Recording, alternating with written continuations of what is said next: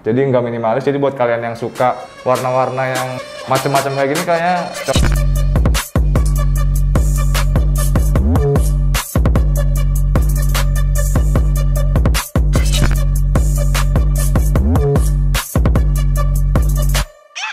Halo guys, welcome back to official Kompleks Seller. Uh, seperti di judulnya, kali ini kita bakal unboxing produk dari Tekno.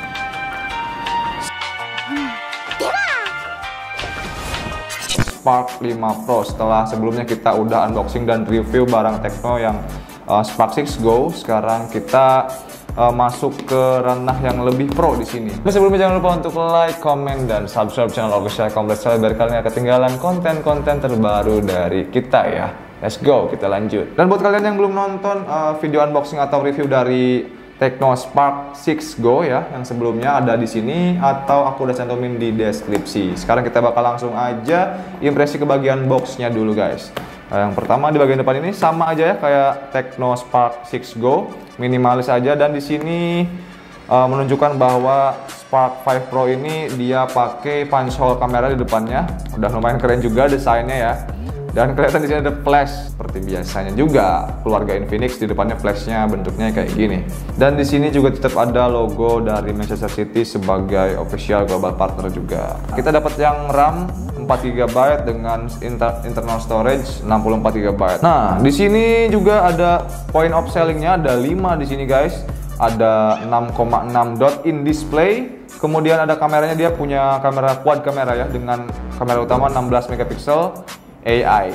Kemudian ada kapasitas baterai di sini 5000 mAh, prosesornya udah octa-core dan pakai Android ke-10.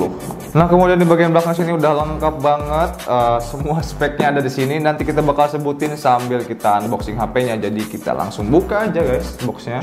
Kita langsung buka aja. Oke. Okay. Sini kita dapat apa aja? Oke, okay, di sini langsung ada produknya. Kemudian di sini ada apa nih? Kita dapat soft case bening. Oh gini bukannya.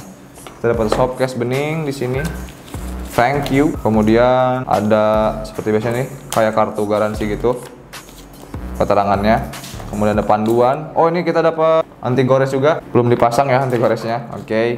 Kemudian user manual. Di sini juga oh kartu garansi ya. Kartu garansinya Wow, lumayan lengkap juga di sini guys. Ada adapter dengan maksimal daya outputnya adalah 10 watt, 10 watt standar ya. Kemudian di sini kita dapat headset. Tadi bonusin headset guys. Kabel USB yang portnya masih masih micro USB ya, Type B. Oke. Okay. Di sini oh di sini ada ini juga pastinya ada SIM injector karena ini udah bisa dibuka ya. Sedangkan yang Spark Go kan dia masih uh, bisa dibuka belakangnya backdoornya bisa dibuka pakai tangan sedangkan yang ini dia udah nggak bisa dibuka jadi harus pakai SIM ejector. Oke okay, udah selesai? Nah guys dan di sini adalah produknya dari Spark 5 Pro. Di sini point of sale-nya seperti yang udah aku sebutin tadi di awal di dusnya ada ya. Dan kita variannya yang 4 GB per 64 kita langsung buka aja.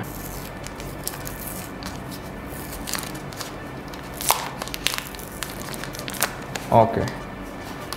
This is the smartphone. Oke, okay, feel dipegangnya sih di sini nyaman ya. Enak loh, tipis dan nyaman dia. Dan kita bakal langsung impresi ke bagian depannya aja dulu sambil kita nyalain ya guys. Bootnya Tecno dan powered by Android. Jadi dia bukan Android Go tapi dia Android 10 murni ya.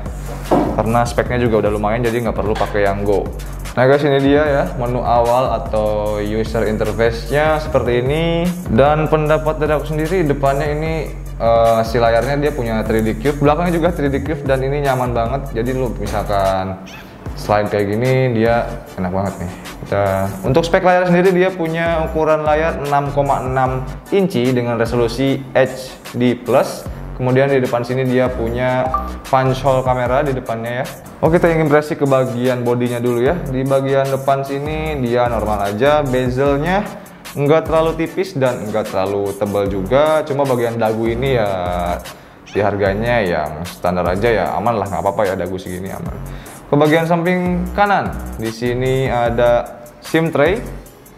Kita lihat SIM tray-nya apakah dia udah non hybrid Yap, di sini dia SIM tray-nya udah non hybrid jadi bisa masuk dual nano SIM card dan satu micro SD guys. Kita ke bagian samping kanan di sini ada tombol volume up and down, kemudian tombol power. Itu aja. Ke bagian bawah ada speaker di sini di bagian kanan ya, eh di bagian kiri berarti ya. Dan di sini port uh, eh, USB-nya dia masih micro USB ya. Kemudian di sini ada mikrofon dan ada port audio 3,5. Ke bagian atas kosong aja.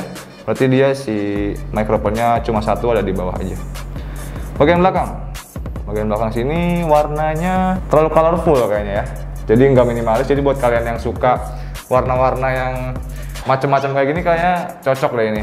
Cuma aku sendiri sih lebih suka yang minimalis aja. Kemudian fingerprintnya di sini di bagian belakang kayak desainnya hampir sama aja kayak Spark uh, eh, 6 Go ya bulat kayak gini uh, warnanya dia gradasi dan punya pattern di sini guys patternnya dari ujung sini ke bawah melengkung kayak gini dan warnanya di atas biru ke bawahnya agak ke hijau toska gini. Kemudian sini ada tulisan Tekno dan kayaknya ini ketutupan design by Tekno udah itu aja. Nah guys jadi di sini dia punya quad kamera dengan kamera utama 16 megapiksel kemudian kamera makro dan depth of field 2 megapiksel dan satunya Cube VGA kayaknya untuk sensor AI gitu.